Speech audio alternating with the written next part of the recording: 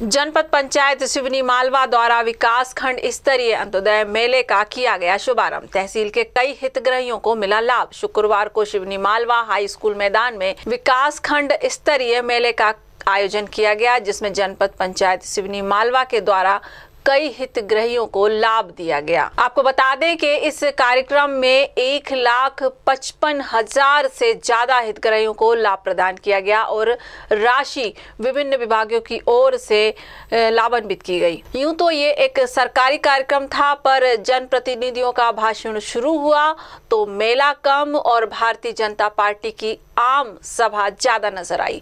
जितने भी जनप्रतिनिधि मंच से उद्बोधन कर रहे थे, सभी ने आगामी चुनाव में भारतीय जनता पार्टी को वोट देने की अपील की और आम जनता से वोट मांगते हुए नज़र आए। बात करते हैं कार्यक्रम की तो यहाँ पर आम जनता या हितग्राहियों की मंच के सामने फैली हुई खाली कुर्सियाँ कुछ और ही बया कर रही थी। कार्यक्रम का समय लगभग 11 बजे दिया गया था, पर दो घंटे धूप में हितग्राहियों को कार्यक्रम के शुरू होने का इंतज़ार करना पड़ा और जैसे तैसे कार्यक्रम की शुरुआत हुई तो आधे समय जनप्रतिनिधियों के सम्मान समारोह और उद्बोधन में ही निकल गया, जिसके बाद हितग्राहियों को उनके लाभ से लाभान्वित किया गया। प्रदेश कार्यकारिणी सदस्य संतोष पारिक ने बताया कि भारतीय जनता पार्टी की सरकार गरीबों की सरकार है और संबल योजना, आयुष्मान भारत योजना, हितग्राहियों और आम जनता के लिए बहुत लाभकारी है। अब कोई भी व्यक्ति सरकारी योजनाओं से वंचित ना रहे, इसके लिए हमने सबल योजनाओं की शुरुआत की है, जिसमें कई प्रकार की मदद सरकार की ओर से आम आदमी तक पहुँचती रहे।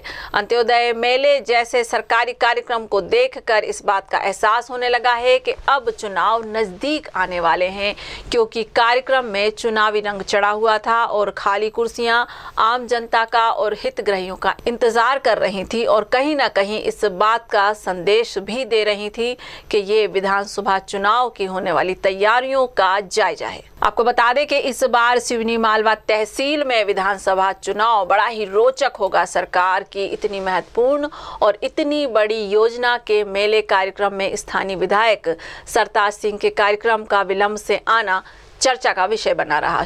उपकरण है या अन्य प्रकार की वस्तुएँ हैं, इस कार्यक्रम में आवंटित किए जाएँगे। और जैसा स्पष्ट लगता है, इस मेले के नाम से ये अंत्योदय मेला है। अंत्योदय का मतलब है कि समाज का ऐसा वर्ग है जो बहुत पीछे रह गया है जिसको हम गरीब भी कह सकते हैं। और हमारी सरकार का पूरा प्रयास है इस वर्ग को आगे लाना, अपनी सम्मानपूर्वक ज़िंदगी जी सके इस बात का प्रयास करना।